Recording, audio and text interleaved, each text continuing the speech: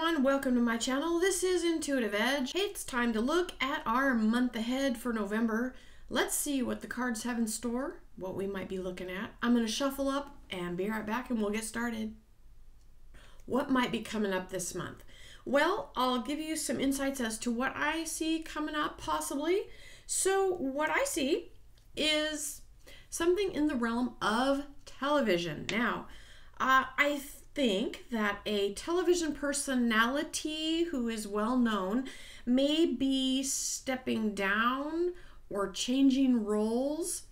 Now, this could be two different people, but what I'm sensing is somebody may be stepping down, maybe they're retiring, maybe they're quitting their job, stepping down. And at the same time, we may see somebody rising to new heights, but I see possibly leaving the airwaves on television, striking out into something new, and taking, I believe it's a he, taking his followers with him.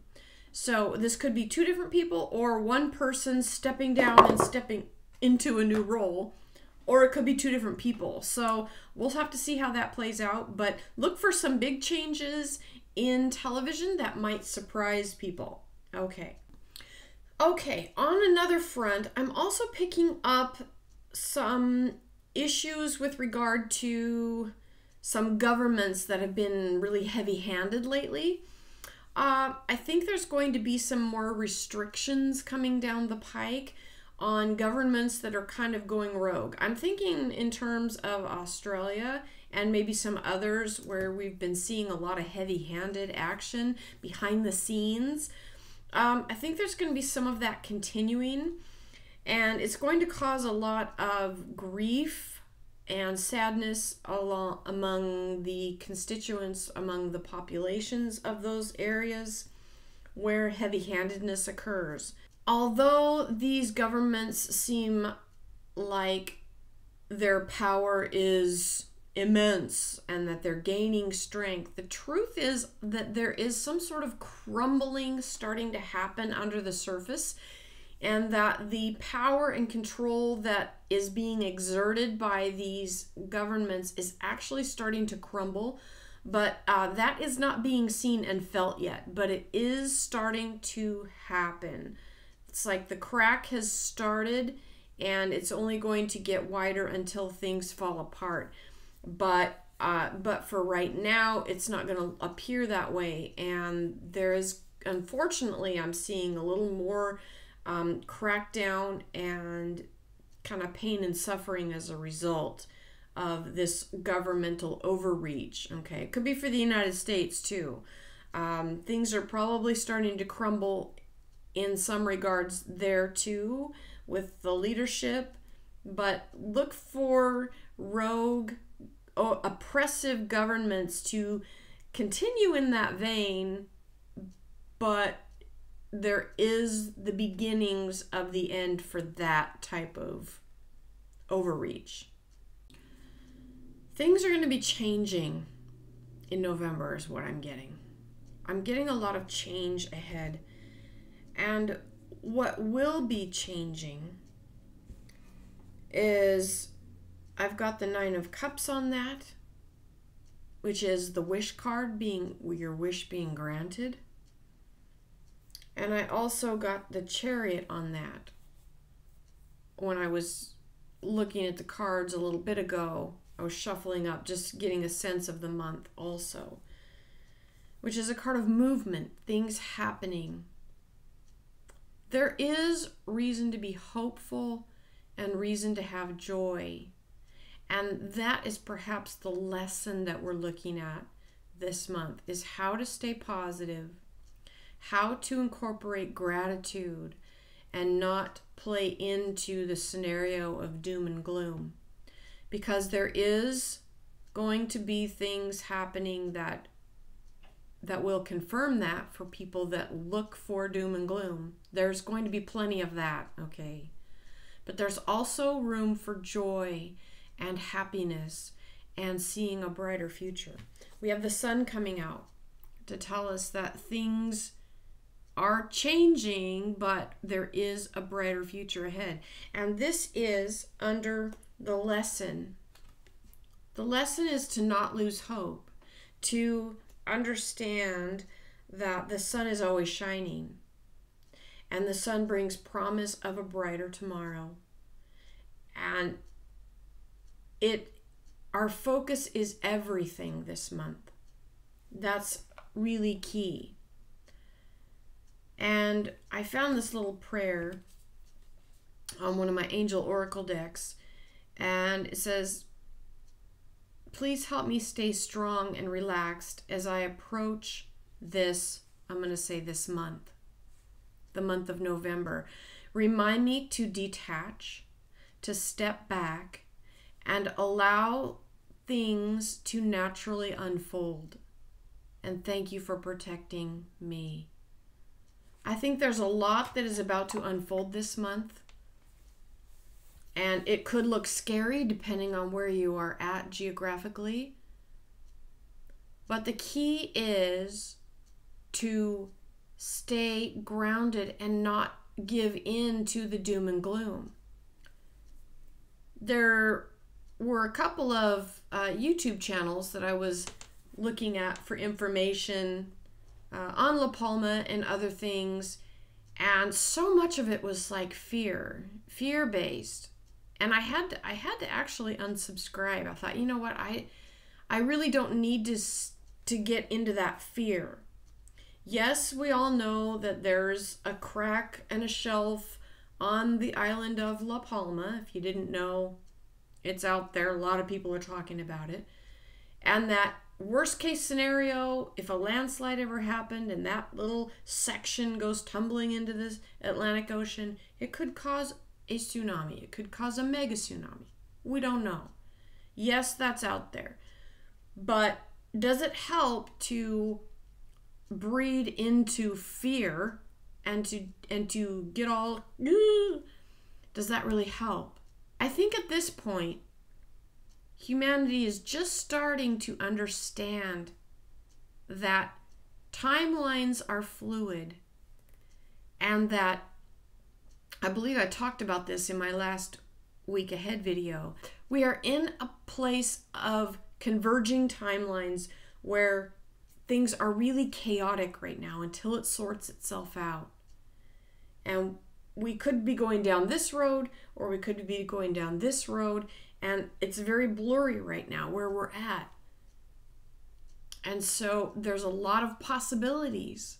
Yes, it could be possible that a mega tsunami comes. That could very well happen. A, a big earthquake could happen on the west coast too. We've, I've been seeing that for a while in my in my mind's eye in my predictions possibly off the coast of Oregon and causing problems and havoc there but we also need to realize that what we dwell on we can create we can manifest and staying in a low vibration of fear and anxiety is only going to feed more fear and anxiety. We have to we have to come to a place where we realize and consciously create what we want to see, not inadvertently create out of fear because we don't know what we're doing. Conscious creation. We are creators. We are made in the image and likeness of our Creator. We are therefore creators. And everything starts up here. And it's unfortunate that so much of our time is spent worrying rather than understanding. So, our lesson this month is to focus on the good that we want to create and to hold fast to that in the midst of chaos and in the midst of things changing. There's, like I said, going to be a lot of change this month. There's also going to be lessons around getting the upper hand over emotions. So rather than letting emotions get away from us, the lesson is to not feed into fear, not get not let things knock you off center, but to stay grounded and focused and stay grateful because there are pockets of joy despite what we see happening that might tell us otherwise.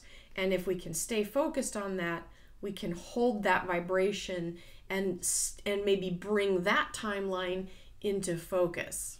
For any of you that are interested, I did run across a really great article. I've had this for some time, but I got this off of Tom Kenyon's website. And uh, at the end here, he does give permission to uh, reproduce it as long as no changes are made. So, not making any changes, and I'm not charging for this. If you would like to have a copy of it, you can email me at intuitiveedgetarot at gmail.com and uh, I'll be happy to send you this link. Um, let me know if you'd like to receive it, and I will send it to you. Uh, Tom Kenyon is, uh, I used to follow him a few years ago. A really interesting guy who did a lot of channeling, but got a lot of good information and really kind of helped me understand the whole timeline concept. And so, um, anyway, if you're interested, let me know. I'll send this uh, article out to you. Okay, um, so this month uh, we do have the getting the upper hand on the outcome, and it's all about emotions. So there's going to be a lot of lessons around that, keeping in gratitude, keeping grounded, not getting off kilter, but knowing that you can get the upper hand over your own emotions and your own response and choosing responses wisely. There are going to be some things playing out in some areas, as I saw, with regard to crackdowns and more heavy handedness. Um, but it's not going to be all over and it's not going to be the norm okay it's just going to be pockets so um, so we have work to do as a collective to help um, help our brothers and sisters um, in other areas that are being oppressed and that are being mistreated. Um, let's hold that high vibration for all of humanity and all of the planet. So I pulled three cards and just looking over the energies of the past, what we're doing now, and what the future is coming up this month. And I've got the magician on the past. I think this past energy supports a lot of change that we're about to go through this month. That's what's happening with that magician. And this card in the middle, what we're going through now is getting the upper hand. So there's going to be quite a bit of struggle, especially depending on where you're at. Geographically, some areas are going to struggle more than others, but we're heading into a time of introspection and reflection and learning hard lessons, perhaps but all from a place of getting the upper hand. So I do think that there's some big change coming. We'll see it, and it's going to possibly cause a lot of self reflection and reflection on a grander scale as well. So that's what I have for this month. Um, oh, and underneath here we have the Page of Swords reminding us to keep our thoughts clear of clutter and not let ourselves get sucked into negativity, into the drama of it, into the doom and gloom. So try to stay out of that as much as possible.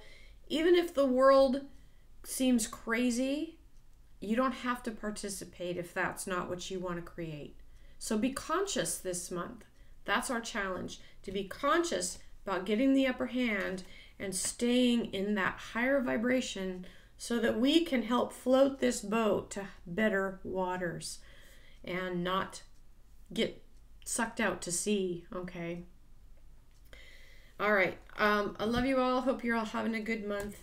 And I'm going to stop this here and I'm going to work on a couple other things. Got my week ahead video coming up also. So stay tuned for that. And hope you all are doing well. We'll catch you next time. Bye for now.